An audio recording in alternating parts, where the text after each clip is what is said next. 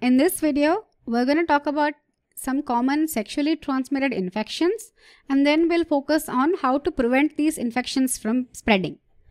Before we begin, what is a sexually transmitted infection?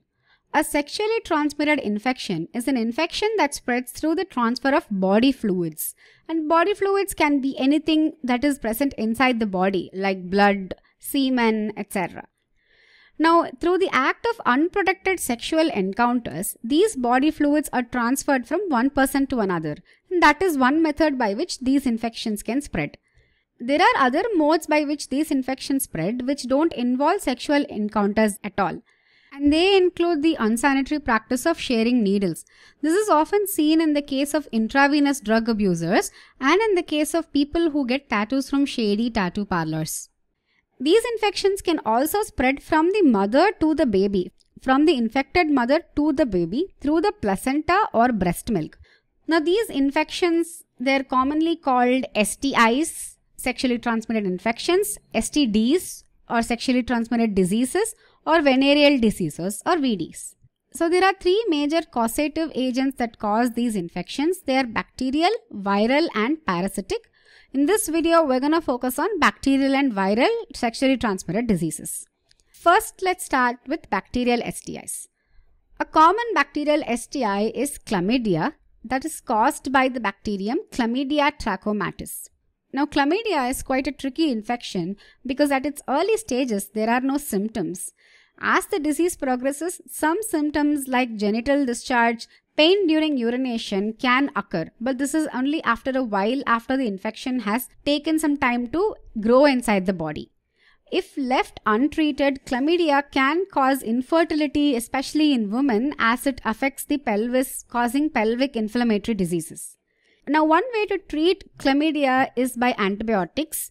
So after administering a course of antibiotics, chlamydia can be 100% treated. Usually bacterial STDs are 100% curable with the help of antibiotics, but viral infections are not. Another common bacterial STI is gonorrhea, which is caused by Neisseria gonorrhoeae. Now this bacterium usually lives in the mucous membranes in the urethra, vagina, mouth and eyes and the primary symptoms occur 2 to 5 days after infections. And the primary symptoms include swollen urethra and testicles in men and lower abdominal pain in women.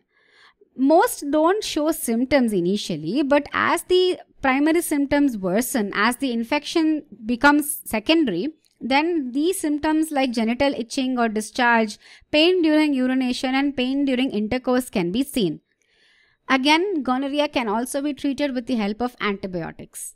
Another bacterial infection is syphilis that is caused by the bacterium Treponema pallidum.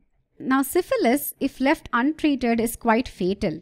It also has some primary symptoms that occur 2 to 6 weeks after infection. They include skin lesions or ulcerations, which are quite painless. They don't cause any itching or anything, but you get these ulceration in and around your genital areas.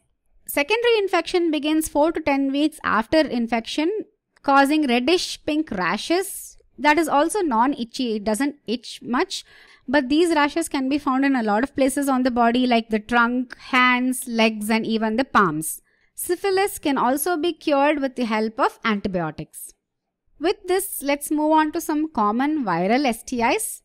One common viral STI is hepatitis B caused by the hepatitis B virus.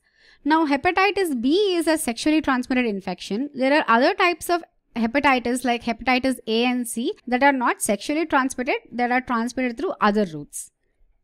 Hepatitis B doesn't present much symptoms initially. So there are two types of hepatitis infections, acute and chronic. Initially, the infection begins in the acute stage and then it can progress to the chronic stage. During the acute stage, there is body ache, fever, and then that can lead to jaundice or the yellowish coloration of the skin. There can be mild abdominal pain as well. As the infection becomes chronic, it can lead to cirrhosis of the liver and even liver cancer. A good thing about hepatitis B is that there is a vaccine to prevent the transmission of hepatitis B. even though it is incurable, like I said, viral STIs are incurable. There is no proper cure as of now to cure these infections, but hepatitis B can be prevented with the help of a vaccine which is usually administered in the childhood itself. Another common viral infection that can be prevented with the help of vaccine is the human papillomavirus or the HPV infection. There is a vaccine specifically designed for women to prevent HPV infection because in women HPV infection can lead to the occurrence of cervical cancer. Next we'll move on to herpes which is caused by the herpes simplex virus. Now initially the Herpes simplex virus presents symptoms like sores or blisters in genital areas, tingling pain, swollen lymph nodes, and a mild fever. But this infection can spread to a lot of other regions like the eyes, even the brain and the nervous system. And when it spreads through the brain and nervous system, it becomes quite fatal. And like other viral STIs, of course, there is no cure for herpes either. Another common viral STI is HIV or the human immunodeficiency virus. Now this virus is quite dangerous because it affects the T cells or the T lymphocytes of our immune system. It attacks those cells and destroys them, causing the immune system to weaken in the body. As the immune system weakens, it can lead to persistent infections like recurring, repeating infections that just don't go away, because of which there is weight loss as well. Now, this leads to a lot of opportunistic infections or infections that would usually be prevented from occurring by the immune system. But because the immune system is weakened, those opportunistic infections cause havoc in the body. And ultimately, that can lead to acquired immunodeficiency syndrome or AIDS, in which case the immune system has totally collapsed and the person is extremely vulnerable to a lot of infections like tuberculosis, cancer, etc. As of now, there is no cure or vaccine for HIV either. But these infections, these viral infections, even though they are incurable, they can be treated to an extent. Their symptoms can be managed to an extent with the help of antiviral drugs. Now that we've learned about different types of STIs, let's move on to how you can prevent sexually transmitted infections from occurring or how you can prevent their spreading.